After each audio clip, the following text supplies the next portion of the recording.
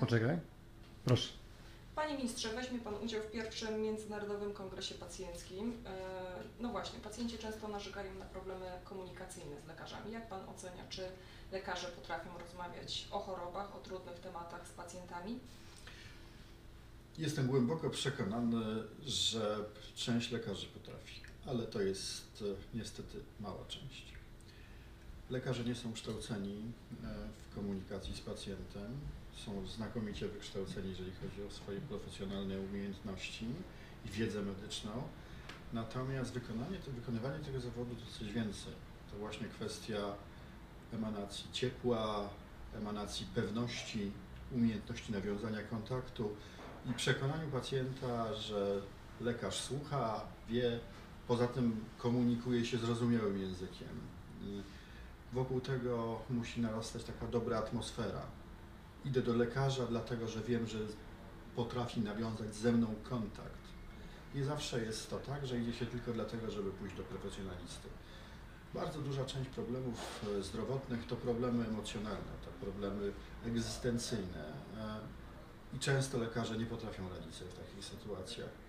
Ja muszę powiedzieć, z dużym zainteresowaniem oglądam program, taki serial o młodych lekarzach patrzę się, jak wygląda ich sposób komunikowania się z pacjentami. Są fantastyczni młodzi, zdeterminowani, żeby ich pacjenci byli e, ludźmi zadowolonymi, ale widzę, że czegoś brakuje. Jest coś takiego, czego, z czego oni chyba nie do końca zdają sobie z tego sprawę, że właściwie mogliby to poprawić, że można by pomyśleć o tym, żeby czegoś ich nauczyć. Oprócz tej profesjonalnej medycyny, e, to także czegoś więcej. To nie jest tak, że się ma to przypisane. Myślę, że jest to kwestia szkolenia, kwestia umiejętności pozyskania informacji, jak należy to zrobić, kwestia także treningu. Na całym świecie wygląda to w ten sposób, że studenci, szczególnie wtedy, kiedy rozpoczynają lata kliniczne, idą do pacjentów i na wstępie uczy się ich, jak się mają z tym pacjentem komunikować. Inaczej z pacjentem, który ma problemy ze słuchem, inaczej z pacjentem, który ma problemy ze wzrokiem, prawda? Jest cała masa zdarzeń, która powinna być wysymulowana i dobrze wykształcony student idzie dopiero wtedy do, do pacjenta, kiedy, kiedy wie, właśnie jest już wykształcony w komunikacji. E, są takie projekty w Polsce realizowane, ale ich ich za mało i myślę, że mm, należy mm, także pokazywać, że jest to proces ciągły. E, Komunikacja w medycynie to nie jest tylko komunikacja lekarza z e, pacjentem, czy też studenta z pacjentem, ale to jest ciągły proces, e, który trzeba trenować, trzeba analizować. I myślę, że dobrze było, żeby na stałe były różnego warsztaty, żeby także można było oceniać swój, swój stopień komunikacji czy umiejętności komunikacyjne, żeby profesjonaliści, profesjonaliści ci, którzy potrafią to ocenić, no, głównie są to psychologowie, no powinni jednak e, żeby prowadzić taką interakcję ze środowiskiem lekarskim, to jest z lekarzami, żeby, żeby nie, no, pacjenci byli bardziej zadowoleni.